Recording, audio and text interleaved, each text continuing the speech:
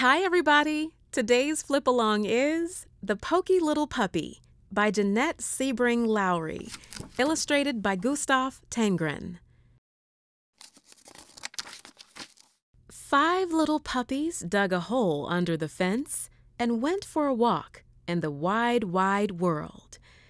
Through the meadow they went, down the road, over the bridge, across the green grass, and up the hill, one right after the other. And when they got to the top of the hill, they counted themselves one, two, three, four. One little puppy wasn't there. Now, where in the world is that poky little puppy? They wondered, for he certainly wasn't on top of the hill.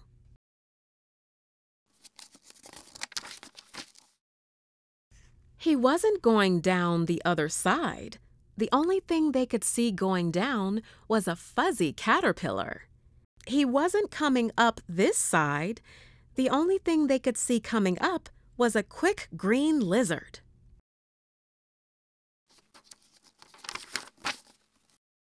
But when they looked down at the grassy place near the bottom of the hill, there he was, running round and round with his nose to the ground.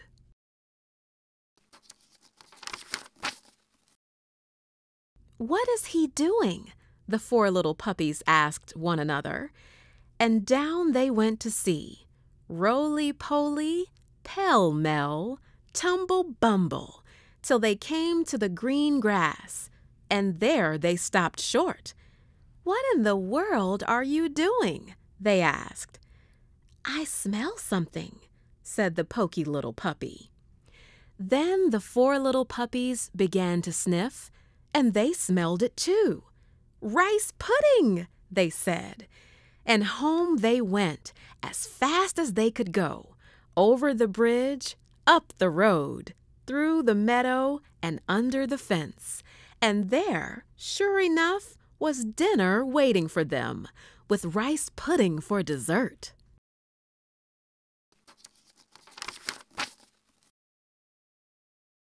But their mother was greatly displeased. So you're the little puppies who dig holes under fences, she said. No rice pudding tonight. And she made them go straight to bed. But the poky little puppy came home after everyone was sound asleep. He ate up the rice pudding and crawled into bed as happy as a lark. The next morning, someone had filled the hole and put up a sign.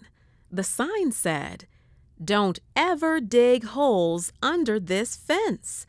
But the five little puppies dug a hole under the fence just the same and went for a walk in the wide, wide world. Through the meadow they went, down the road, over the bridge, across the green grass, and up the hill, two and two. And when they got to the top of the hill, they counted themselves. One, two, three, four. One little puppy wasn't there. Now, where in the world is that poky little puppy? They wondered, for he certainly wasn't on top of the hill. He wasn't going down the other side. The only thing they could see going down was a big black spider. He wasn't coming up this side. The only thing they could see coming up was a brown hop toad. But when they looked down at the grassy place near the bottom of the hill, there was the poky little puppy sitting still as a stone with his head on one side and his ears cocked up. What is he doing? The four little puppies asked one another, and down they went to see roly poly, pell mell, tumble bumble, till they came to the green grass, and there they stopped short. What in the world are you doing? they asked. I hear something, said the poky little puppy. The four little puppies listened, and they could hear it too. Chocolate custard! they cried. Someone is spooning it into our bowls. And home they went as fast as they could go. Over the bridge, up the road, through the meadow, and under the fence. And there, sure enough, was dinner waiting for them, with chocolate custard for dessert. But their mother was greatly displeased. So you're the little puppies who will dig. Holes under fences, she said. No chocolate custard tonight. And she made them go straight to bed. But the poky little puppy came home after everyone else was sound asleep, and he ate up all the chocolate custard and crawled into bed as happy as a lark. The next morning, someone had filled the hole and put up a sign.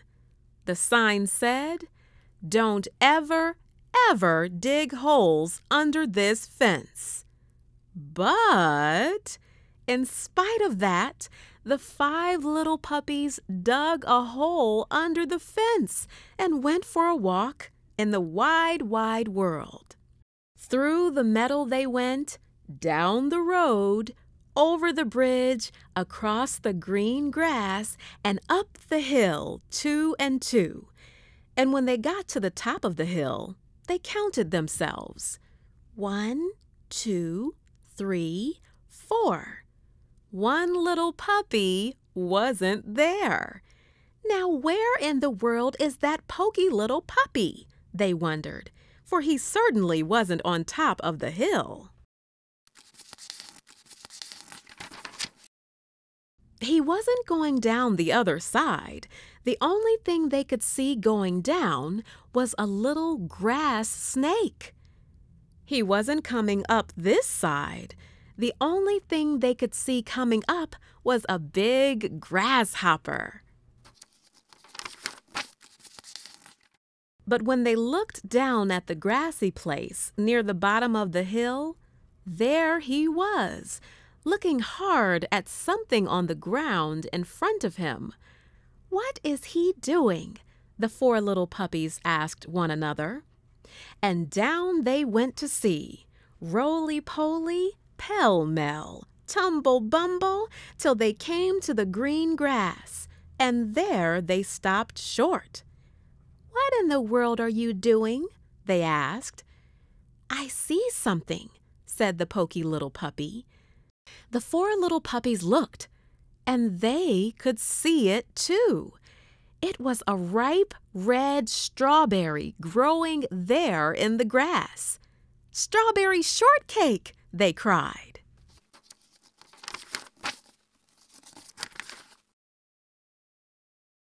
And home they went as fast as they could go, over the bridge, up the road, through the meadow, and under the fence.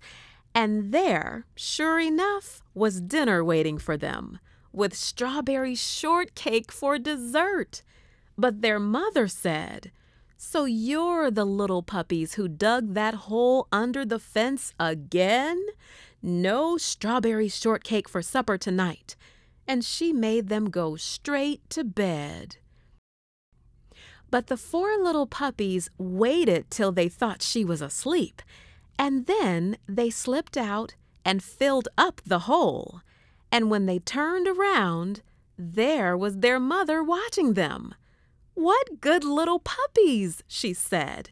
Come have some strawberry shortcake. And this time, when the poky little puppy got home, he had to squeeze in through a wide place in the fence. And there were his four brothers and sisters, licking the last crumbs from their saucer. Dear me, said his mother, what a pity you're so poky. Now the strawberry shortcake is all gone. So the poky little puppy had to go to bed without a single bite of shortcake, and he felt very sorry for himself. And the next morning, someone had put up a sign that read, No desserts ever unless puppies never dig holes under this fence again. Thanks for reading along with us. Come back next week for another story.